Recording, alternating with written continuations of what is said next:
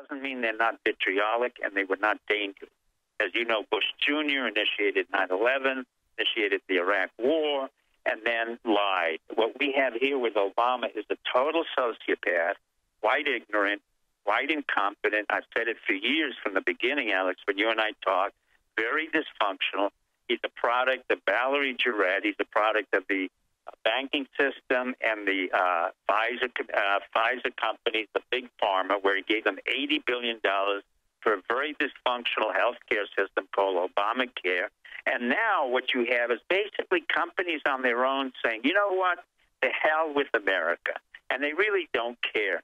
The companies have become basically these egregiously greedy, self-important companies that have no loyalty to the United States. For example, Pfizer, one of the biggest billion dollar companies in the United States that supplies our medicine, has decided to leave our tax system and do what we call an inversion and go to England so that they can buy a lousy company called AstraZeneca, which is worth nothing on the equity basis, in order to avoid our taxes.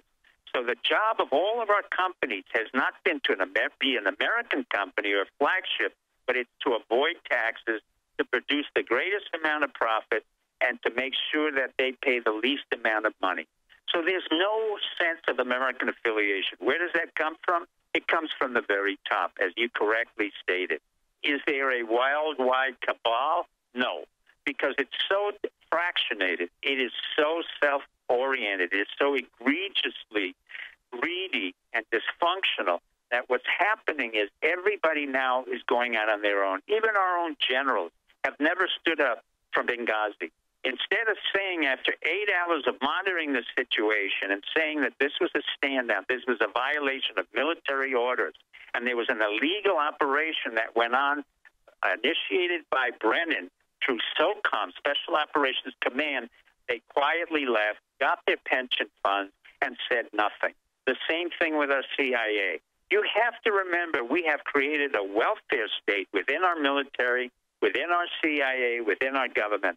That has to be taken down systematically, and we don't have legislators for that. Well, I was about to say, I mean, uh, from what I know, just 20, 30 years ago, most people who were in the CIA uh, were were mainly Christians, uh, conservative types, maybe misguided, but super focused, top of their class,